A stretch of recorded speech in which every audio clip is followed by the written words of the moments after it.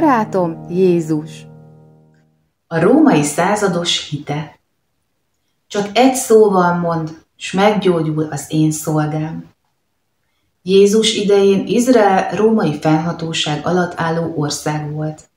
Sok zsidó gyűlölte a római katonákat, mert elfoglalták az országukat. De Kapernaumban élt egy katona, akit annak ellenére, hogy római volt, szerettek és tiszteltek. A rangja szerint százados volt, ami azt jelenti, hogy egy százfős sereg kapitánya volt, kedves volt és figyelmes. Amikor a zsidóknak új zsinagógára volt szükségük, teljesítette a kérésüket, épített nekik egyet. Egy napon a római százados egyik szolgája megbetegedett. Az orvosok nem tudtak segíteni rajta. A százados sokat forgolódott a zsidó nép között, és emlékezett számos történetre, amit Jézus gyógyításairól hallott. Tudta, hogy Jézus meg tudná gyógyítani kedves szolgáját. Felkereste hát a véneket, akik inkább bölcs vallási vezetők voltak, mint sem idős emberek, és megkérte őket, keressék meg Jézust, hogy meggyógyíthassa az ő szolgáját.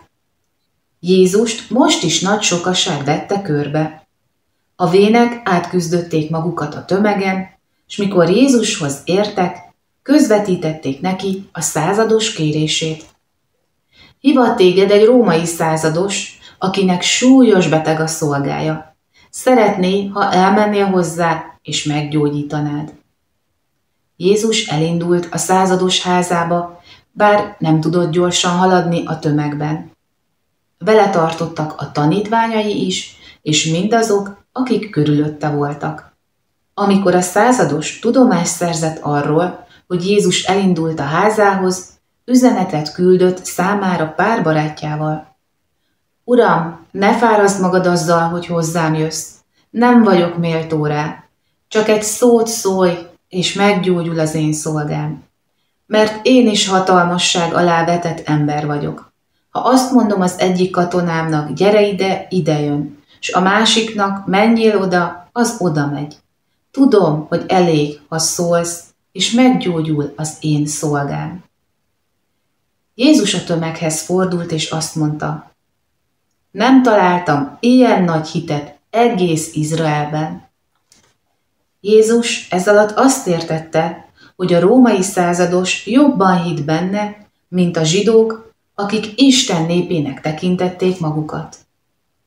Ugyanebben az órában, a százados otthonában valóban meggyógyult a beteg szolga. Jézus ismét csodát tett, mert a százados kimutatta a hitét. Kapernaumból Jézus ezután Nain felé vette az irányt.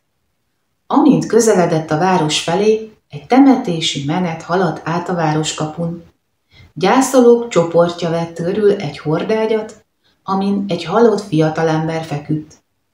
Ez a gyermek egy özvegyasszony egyetlen fia volt, és az egyetlen, akire ez az asszony támaszkodhatott.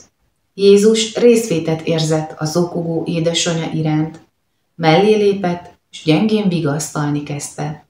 Ne sírj! Azután megérintette a hordágyat, mire az azt cipelők megálltak. Csönd borult ekkor a halotti menetre, mert az emberek érezték, hogy Isten jelenlétében vannak. A sokaság kérdőn és várakozva nézett Jézusra, aki világos és határozott hangon így szólt. Ifjú, én mondom neked, kelj fel! Erre a fiú kinyitotta a szemeit, Jézus megfogta a kezét, hogy lesegítse a hordágyról. Az édesanyja keserű könnyei örömkönnyekké változtak, kimondhatatlan hálával ölelte magához visszakapott fiát. Jézus meggyógyította a római százados szolgáját, és ugyancsak a szavával visszaadta az özvegyasszony fiát, amivel a mérhetetlen szomorúságot hatalmas örömmé változtatta. Ne feledd, Jézus bármit meg tud tenni a te életedben is, ha hiszel a szavában. Az ő beszédében életadó erő van a számunkra. Mi egy olyan hatalmas Isten szolgálunk, aki arra hív téged is, hogy hozd elé imában minden bajodat és szükségletedet. Milyen csodálatos kiváltság ez! Éljetek vele! Jó éjszakát, gyerekek!